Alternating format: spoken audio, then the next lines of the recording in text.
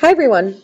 In this video we're going to continue our discussion about scaled figures and define a word called similarity or similar figures.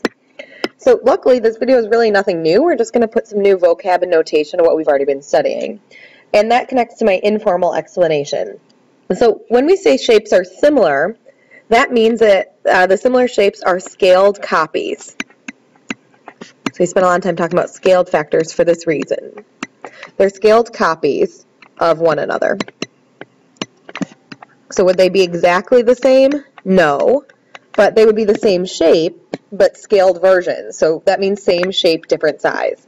Um, so now more formally, two shapes are similar if okay, corresponding angles are congruent.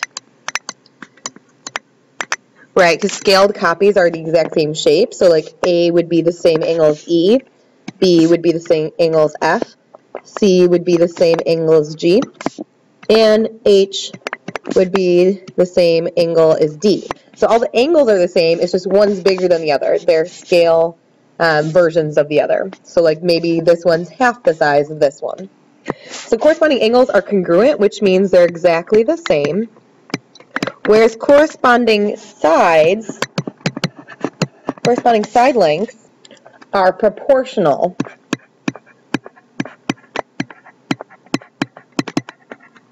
Okay, what it means when I say corresponding sides are proportional, it means they're not the same, but they're scaled versions of one another. You keep hearing that word scaled come up. Okay, so an example of this is like if this side were 10 and this were half the size, this would be 5. So they're not the same side lengths, but they're proportionate. So when I say they're scaled versions, all sides would have the same scaled factor. Same scale. Okay, so if this side is half, then if this side were like 8, this side would have to be 4. So they're proportionately um, similar to each other. Now in terms of notation, um, just like we had a symbol for congruent, the symbol for congruent was this symbol here. Um, that's not the symbol for similarity though. So congruent is made up of two things. It's made up of the equal sign and it's made up of the similar sign. So the squiggly line on top of the congruent symbol is the symbol for similarity. So what it means is um, for congruent shapes is that they're similar and equal. That means they're congruent, they're exactly the same. Whereas similar, similarity in similar figures, um, they're only similar, they're not equal. So an example of a similar statement would be like triangle ABC is similar to triangle DEF. Okay, and if you see the symbol, you know they're similar. Okay, which I've kind of outlined in this image down here as well. Um, and it just says what I said above. So if ABC is similar to DEF, this would be the correct mathematical way to say it. We'd say angle A is the same or congruent to angle D, so they're the same angles, but the sides are not equal. So this side C is not the same as side C, which you can clearly see, but the ratios of all the sides should be equal, because what the ratios really calculate is the scale factor. Okay, so DE divided by AB should be the same thing. So let's see, DE divided by AB should be the same thing is um, DF divided by AC because they have the same scale factor, and when you divide them, you're really calculating the scale. Um, so in terms of why does this make sense, what I'm referring to is why does this piece here make sense, that the ratios are all equal.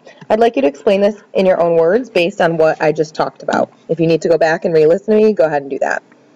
So we're just going to focus on notation for this video. Um, so we're going to write similarity statements for the following figures. Um, now there's lots of different ways you can see similar figures. They can be nested inside one another. So like you may not see two similar triangles, but there actually are two triangles here. So there's the big triangle, and we're saying that that's similar to the smaller triangle, which is the one that's nested inside of it.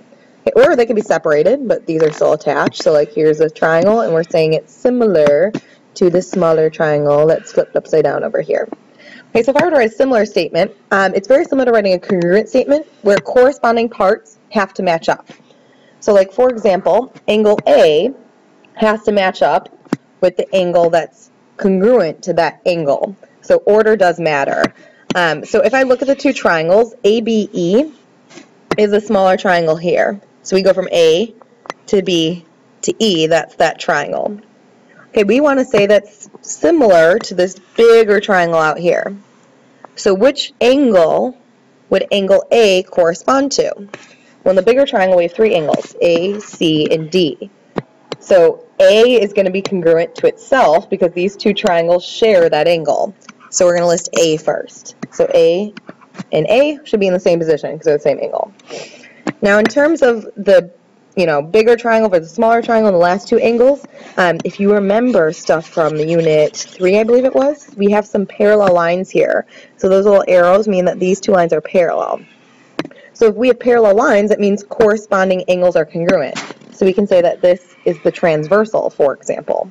So if this is a transversal, um, then these two angles would be congruent because they are in the same position, right? So this one's on top of the parallel line and to the right of the transversal, and this one's also on the top right, so those are congruent. So B would be congruent to C, and similarly, D would be congruent to E, because they're corresponding angles to this transversal. This is top, and this is left, this is top left. Okay, so we have A is congruent to A, B is congruent to C, and D is congruent to E. So we're kind of like connecting everything you've learned in lots of units together here. So let's write that similarity statement. So if B is in the second position, its corresponding angle is C, so C would have to be next. If E is in the third position, E is congruent to D, so D would have to be next. And that's how you'd write a similarity statement with order mattering. You can try this one on your own. Okay, there's a couple more things we can do. Um, let's say you know they're similar. Can we label the diagrams? So I know that ABC is congruent to XYZ. Again, order matters. So like wherever this angle is on here, would have to be the same as A. So A and X are in the same position, they have to be the same angle, except this is a scaled down version. So like that's the long skinny angle here, that'd be that one here. Whereas B up here is like the widest angle, so that'd be up here. And C down here would be congruent to this one. So if it goes from A to B to C, blue goes with blue. So A goes with X, I'd call this X. Um, B is here, so B corresponds to Y, that'd be Y and C corresponds to Z. So if this C and this angle are congruent, this has to be Z. And you can try this one on your own. Okay, 3b says, if you're given some angles, could you find the me measure of a missing angle? So let's label what we see to figure out what this is really asking. So it says ACB is 50. So that goes from ACB. That's this angle here is 50.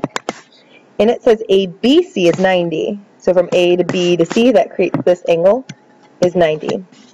Now it wants you to find yxz. So from y to x to z, that's this angle here. The funny thing is I didn't give you any angles on here. All you know is that these two shapes are similar. So if I can figure out all the angles on here, they should be congruent to all the angles on here. So if this is 90, this is 50, I don't know what A is, so therefore I don't know what X is. But I can find them because what do all the angles in a triangle add up to be? They all add up to 180.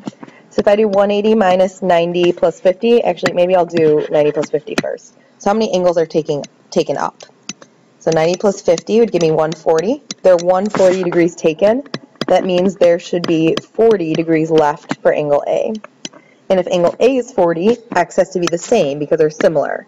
So that means the measure of that angle would be 40 as well. So that's a way you could apply similar shapes. Okay, the last one says to draw your own picture. So we're gearing up for like some DARA here where you have to draw a diagram. And you want to answer the following questions about whether these ratios are true or false. Because we know if these two shapes are similar, so if PQR is similar to LMN, then the sides should be proportionate, but it has to be the corresponding sides that are proportionate. So let's draw a picture. And you can draw this triangle whatever you want. You can make a right triangle, you can make an equilateral triangle, you can make it not any of those. I don't really care. Um, draw your favorite triangle. But I'm just going to call it PQR. The most important thing is that if they're similar, it's going to look, or the other triangle is going to look the same, um, but it's going to be a scaled version of it. So maybe I'll draw it to be smaller. And P and L should be the same angle. Q and M should be the same angle. And R and N should be the same angle. So I'll call this L, M, N. And it wants to know if these ratios are true or false. So basically you have to say like, are the corresponding parts in the same place. So the first one says PQ over LM. So PQ is here, LM is here. So if I take this side and divide it by this side, is at the same scale is PR over LN. And this would be yes, because PQ and LM are in the same position on those triangles, and PR and LN are in the same position. And we go from big triangle to small triangle, again, big triangle, small triangle, so this is consistent, and this would be a yes. Now, I want you to try the rest of these on your own and figure out if B, C, D are true or false. So that's what similar shapes are. Essentially, they're just scaled versions of one another. We learned the notation. There's some you to practice.